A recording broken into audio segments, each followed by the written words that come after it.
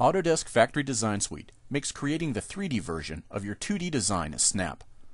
Creating a 3D model of your 2D factory layout is easily accomplished using the factory design utilities for AutoCAD. Factory assets are easily added to your layout from the Asset Browser. If you utilize factory assets to populate your layout, you can easily create a 3D version of the design with a single click using the Send to Inventor command.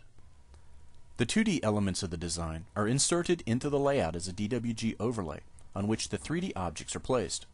The 3D versions of the 2D assets are automatically placed on top of the corresponding 2D footprint.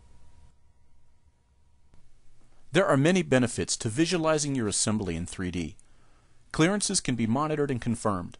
Interferences can be identified and resolved long before construction problems arise on the factory floor. The 3D visualization also provides a complete understanding of the design to stakeholders who may have trouble reading classic 2D drawings.